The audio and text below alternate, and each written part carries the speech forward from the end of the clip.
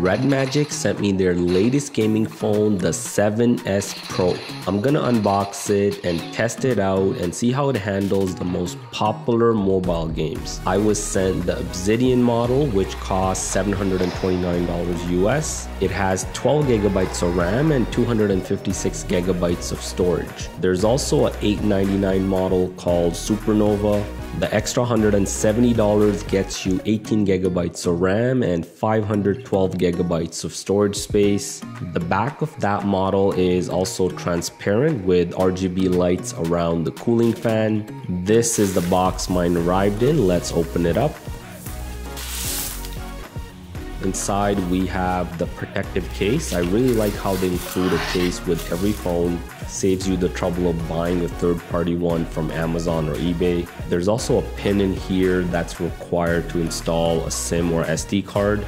Here's the phone, more on that in a bit. Here is the fast charging adapter and the fast charging USB cable. This phone has a 5000 milliamp hour battery with 65 watt fast charging. You can fully charge it in about 40 minutes. And here's the Obsidian model of the 7S Pro. It has a 6.8 inch 120 hertz display with an under display camera. So pretty much the entire front of the phone is the screen for gaming. The back of this one isn't transparent. It doesn't have the RGB lights, but it's still very cool. Now you can't see the fan, but there is a cooling fan inside, just like the more expensive Supernova model. And just like other Red Magic phones, this one does have the built-in software that you can flip the switch right here and it really turns the phone into a gaming console. You have all your games, the control center, everything is right here. You have access to all the settings. Even in the middle of playing games, there is a sidebar overlay where you can change all the settings that you want. There's a ton of customizations you can do, a ton of built-in functions.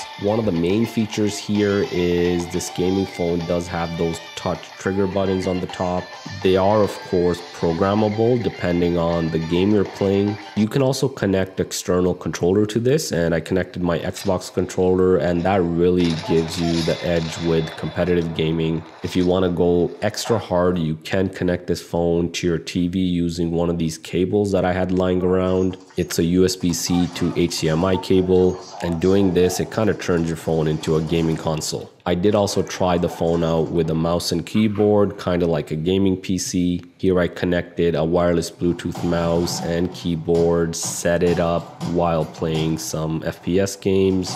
The mouse and keyboard does give you a really good edge and I know some of you might call that cheating. You can also connect a wired mouse and keyboard to this using one of these accessories like a portable dock. With its ultra powerful Snapdragon 8 Plus Gen 1 chip, it's a powerhouse. So let's see how it performs with some of the most popular games. Let's first talk about Fortnite Mobile. This phone comes with USB debugging turned on from the factory and Fortnite actually won't let you play any games with that feature on so you have to go into developer options and turn off USB debugging for Fortnite to work. You can set up the built-in trigger buttons for Fortnite. In terms of settings, Fortnite allows up to 90 FPS in the settings. The quality presets do jump to the lowest though However, when actually playing the game, it still locks the FPS at 60 even though I've had it set to 90. So in this case, I kind of went ahead and just pushed all the quality presets to the highest settings and locked the FPS to 60.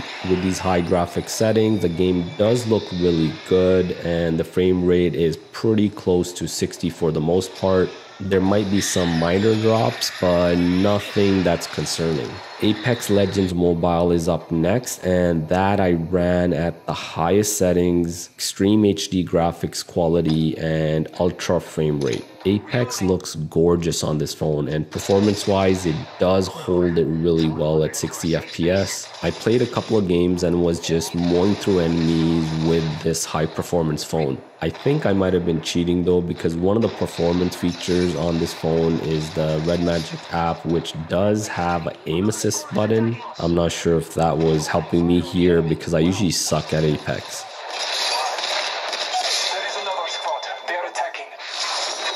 Call of Duty Mobile is another game I tried out here that runs at a pretty solid 90 FPS with high graphic settings. And once again, even with this game, I found it to be super easy using this phone. I'm not sure if that's all me or this phone actually improves my performance. Oh, and the built-in trigger buttons were working really well here. Player Unknown's Battleground Mobile is the last game I looked at, and this again performs really well with the graphics maxed out. It delivers a solid 60 FPS. You can use the built-in touch triggers here as well.